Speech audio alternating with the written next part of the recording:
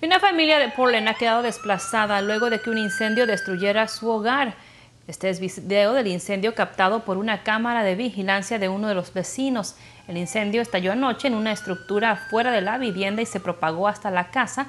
Los bomberos lograron controlar el fuego en aproximadamente una hora y no hubo heridos. La causa de este siniestro sigue bajo investigación.